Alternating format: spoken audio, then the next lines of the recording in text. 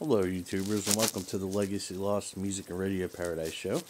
And um, today I'm going to do just a quick uh, overview of a, actually, kind of an interesting product. This is a a piece of uh, like a canvas type of piece, and it's for a with a clear uh, plastic front on it.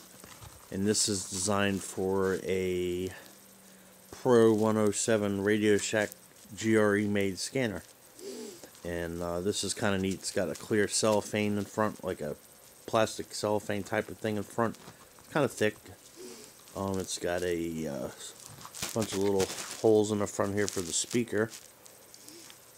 And there's a little hole here. I'm not really sure what that would be for. It's got a uh, thing on the side here for the charging jack and um, it's got a belt clip.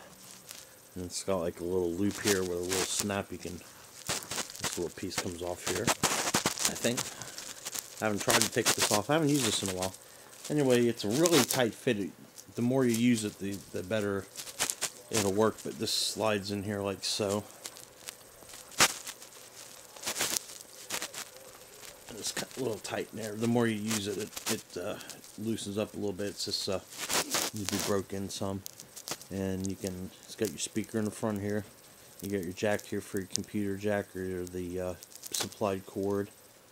And I forgot what this is for I don't even use this left side here hardly anymore. That's an on-off switch for something. I'll have to look and see what that's for. I can't remember what I use it for. See what happens when you get old but uh, anyway um, this is a nice little protective case, like if you're going portable, mobile, help it keep it from getting water and scratching it, and you know, just keep it from from protecting it and everything. Uh, I hardly ever take these radios with me, so I don't really use this very often. But you just push that from the bottom, and I'll slide out here. And uh, I believe I got this from Scanner Master, if I'm not mistaken. But uh, anyway, this is a uh, protective uh, pouch thing here for belt clip.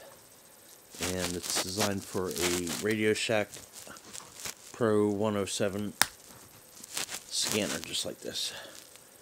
And uh, these have been discontinued a while ago but uh, I still have two of these and they work really good. So anyway peace. 73s thanks for watching. Bye bye